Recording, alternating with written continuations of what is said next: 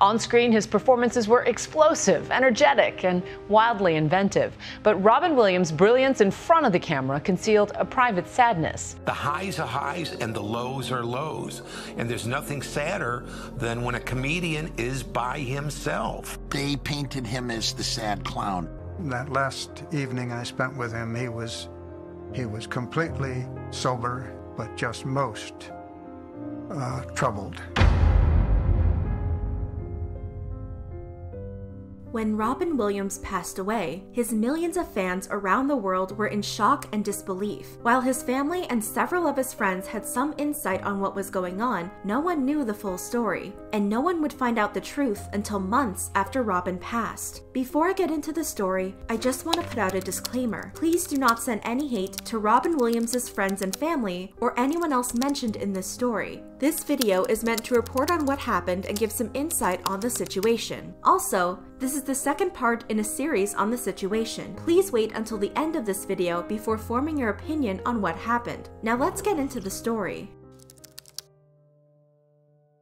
When the news of Robin's passing reached the media, many of his friends and fans were shocked and devastated. In the documentary Robin's Wish, Robin's neighbor John Hepper said, I felt tremendous remorse and guilt that, gosh, I should have done more. Robin's longtime close friend Stanley Wilson said, I know something must have been terribly wrong for someone as brilliant as Robin to just, you know, jump ship like that. Late night host and comedian David Letterman was vacationing in Montana with friends when he heard the news. As a fellow survivor of heart surgery, Letterman said, It just didn't make any sense to me. After what these guys did for me, they opened me up, they took my heart out, they put me on a heart lung machine for 42 minutes, and then they put your heart back in and they stitch you back up. After people have gone to that trouble, the last thing in the world you're going to do is ruin it by yourself. To Letterman and his friends that day, it seemed unfathomable that a man whose astonishing talents left them feeling inadequate had decided his life no longer had value. Robin could fly Letterman said. It was the diametric opposite of what his life was. It was almost like, you're never going to suffocate this energy. And then, at the end, he chose to do so. The suffering must have been inestimable.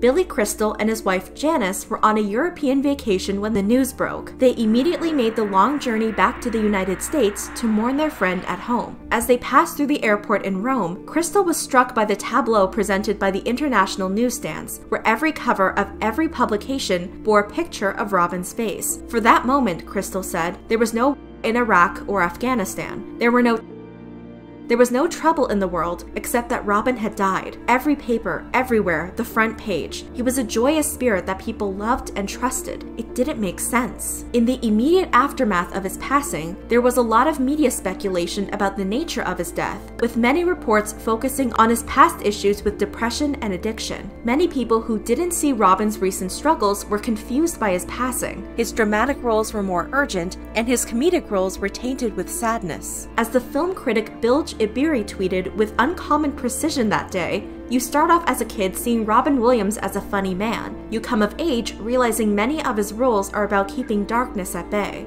Two days after Robin's passing, speculation was only increasing and spiraling out of control, ranging from theories about his death being to wild speculations about his sobriety and finances. Johnny Steele, one of Robin's friends, said they thought he just committed for something related to unhappiness, drugs, or depression, and of course, none of that is true. Robin's widow, Susan Schneider Williams, released a statement.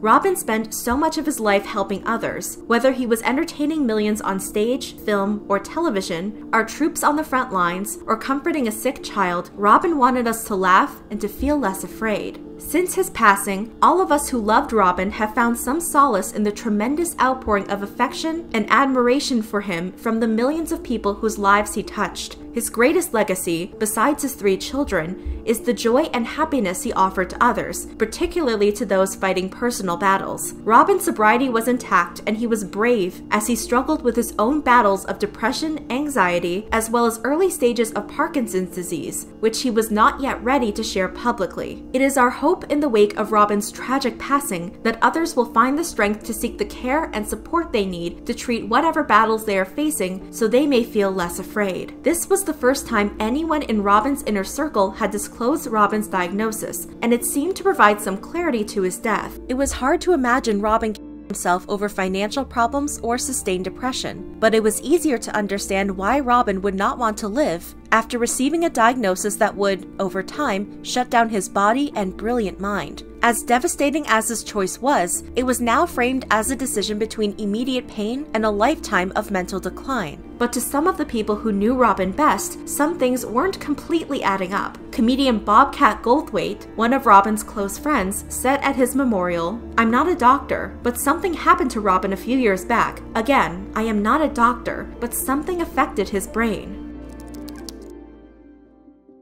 In October 2014, Susan was called into the coroner's office to go over Robin's autopsy. During that meeting, the coroner delivered a startling revelation. They sat me down and said, essentially, Robin died of diffuse Lewy body dementia. According to the Alzheimer's Association, Lewy body dementia is a type of progressive dementia that leads to a decline in thinking, reasoning, and independent function because of abnormal microscopic deposits that damage brain cells over time. For the first time, Robin's family had a diagnosis that explained much of Robin's strange behavior in the last years of his life. Neurologist Douglas Scharre of the Wexner Medical Center at Ohio State University explains there's a protein that is normally useful in the brain and it starts to accumulate abnormally and it's toxic. Where it builds up, it can cause cell loss and cell death, and therefore that contributes to certain conditions. The onset of the disease is extremely gradual, Dr. Scharre explained. The proteins build up very slowly. One day, you're normal. Then you're having a little bit of motor problems, then little cognitive issues. Those who suffer from it may first notice memory problems or physical stiffness, but over time, they often undergo massive personality changes.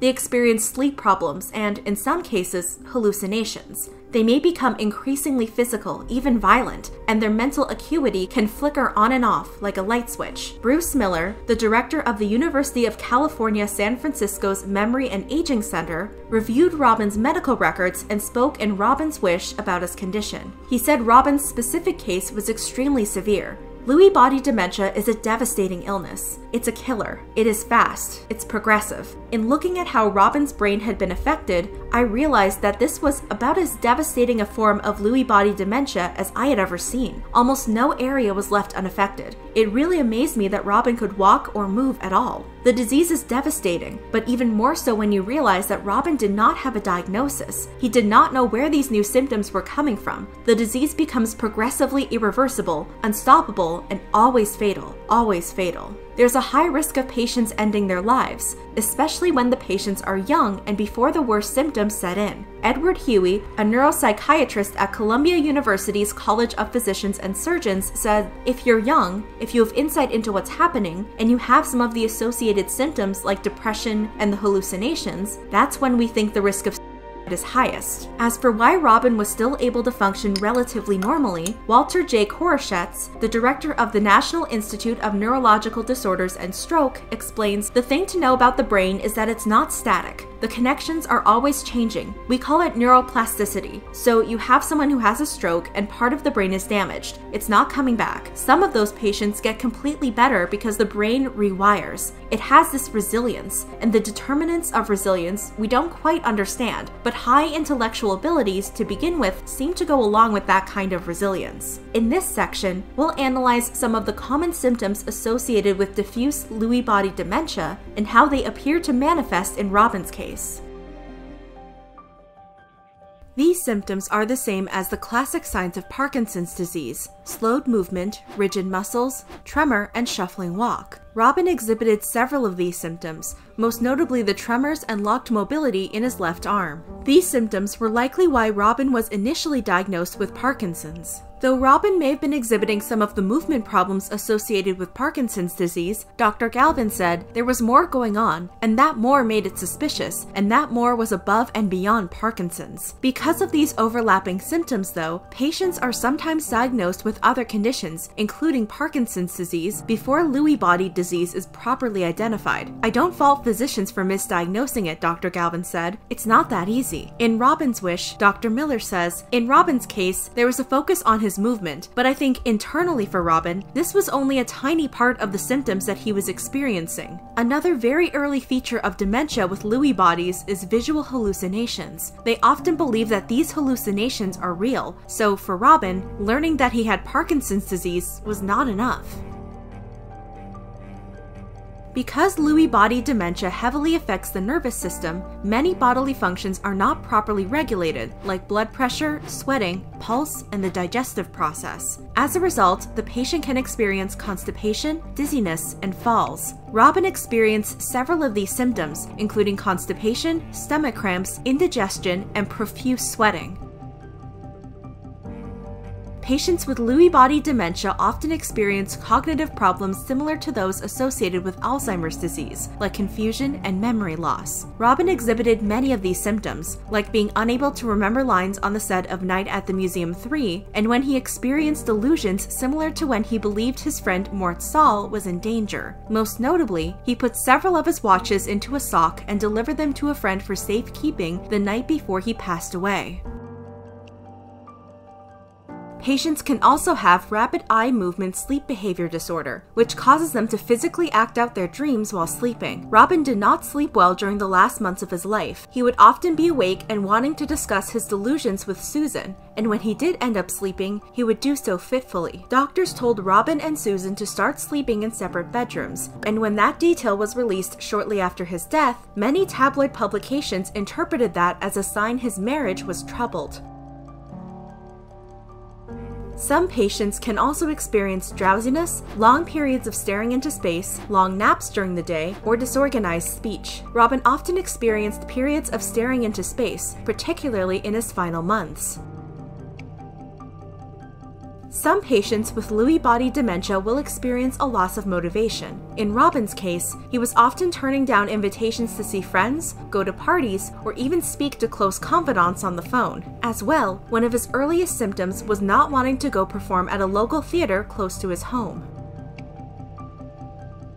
Finally, it's common for patients to experience depression during the illness. Robin had been open about his struggles with depression throughout his life, and many news reports shortly after his death focused on his depression as a possible reason why he died. While depression was certainly a factor in his passing, it's also important to remember that psychology and neuroscience are interconnected within the brain. People believe that there is psychology and then there's neuroscience, and they're not the same, but in fact, it's all related to how our brain circuits are working. I think in this country, there's a big problem that mental health and neurology are seen separate. In fact, it's all abnormalities and brain circuits when, when your brain is not functioning to allow you to be a fulfilled human being. There's a tendency to blame people for their behaviors and their illness, and a certain mindset around disease that people are responsible for their own disease. They aren't. I think there's a blame free world. Just like when someone has cancer, you don't blame them.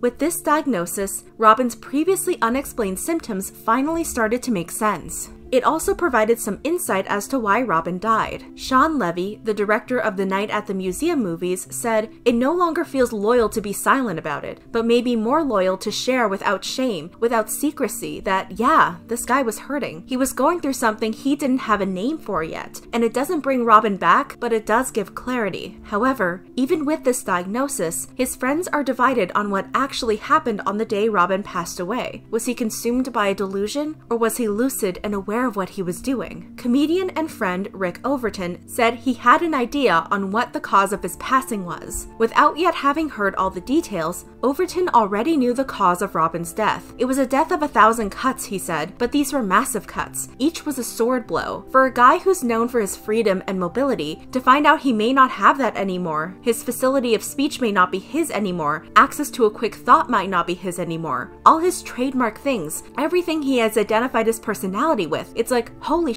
what are you going to do? All of that said, Overton added, he would not have abandoned his family when in his right mind. He would have endured all of that unless something shorted out. He wasn't Robin at that point. He stopped being the guy we know. That part shut down. Comedian Stephen Pearl said, I don't count his death as a because it wasn't him that did it as far as I'm concerned. It just really angered me that it would happen to someone like him. Why couldn't this happen to an Steven Haft, who produced some of Robin's films, including Dead Poet Society and Jacob the Liar, said Robin would not have knowingly caused his children pain. I don't, to this day, believe he intended to never see his children again. After the diagnosis was released to the public, Bobcat Goldthwait said, He died from Lewy body dementia, but the world wants it to be about something else depression, drugs, career, relationships, etc. He had a disease that attacked his brain. My own opinion is that that's what actually changed his perception of reality. But Billy Crystal has a different perspective. As Billy Crystal explained, I put myself in his place. Think of it this way the speed at which the comedy came is the speed at which the terrors came.